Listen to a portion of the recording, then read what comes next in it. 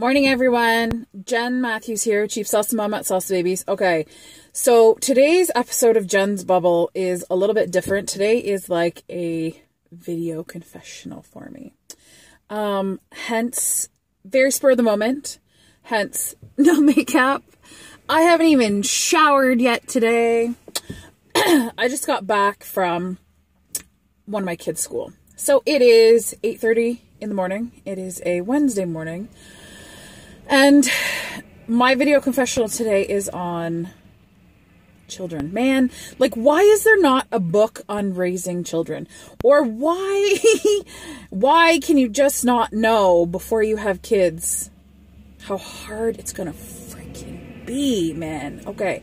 So my oldest is 11 and we're pretty tough parents, we're pretty strict parents. We are the type of parents where we say what we mean and we follow through with it. Um, and sometimes I think those things don't always um, work out so well. But then I think I also know the repercussions of not sticking to my words. So here's what happened today. So our oldest, who just turned 11, very responsible, very loving. Oh my gosh, she's a beautiful, beautiful child. Helpful, loving, caring, always, always helps other kids. But she's 11 and she's starting to assert herself a little bit, I guess is maybe the word for it. So the last few days, they have to take a school bus to school in the morning. And the last couple days, she has almost missed the bus because she just dawdles. Um, our kids are not allowed to watch TV in the morning before they go to school unless they get ready really early and then they can watch TV before the bus comes. Um, but typically they don't get to watch TV. She chose to wake up this wake up this morning and watch TV. She was really really late today, so we had said to her at quarter to eight um, the bus comes at 10 after 8. Just remember, if you miss the bus, you have to walk to school. And their school is probably, um, here comes the strict parenting. Um, their school is probably two kilometers from our home. Um, so that's pretty far in the morning.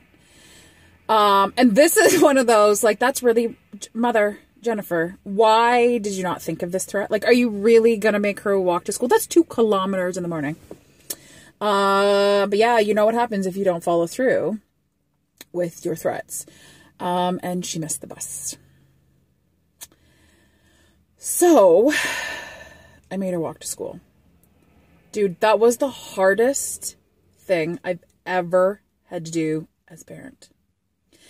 And I drove behind her all the way to make sure she was safe. And I said to her when she was walking, I will drive behind you to make sure you are safe, but you are walking to school. I am not driving you to school. You knew what would happen if you missed the bus. So she walked the entire way to school. Man, it started raining on her. Like the skies are dark today. It started raining on her. It rained on her for three quarters of her walk. She had no hood on her jacket. She was warm because she had a winter jacket on. She had no hood. So she gets to school and her hair's wet. So I'm telling myself as a parent, okay, you are doing your job because you have to teach them responsibility. This is very extreme. I get that. I get it. It's extreme. But it's a threat that we have given, so you have to follow through on your consequences, or they're not going to trust you and take your consequences seriously.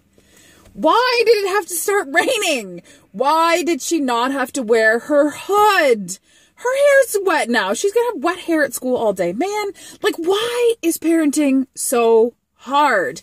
So I drove home from the school, literally, and I know I look awful today. I was just crying because I'm like, why is parenting so hard? Like, I feel.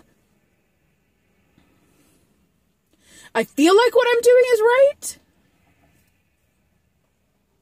but why does it have to be so hard? Why does raising good kids have to be so hard?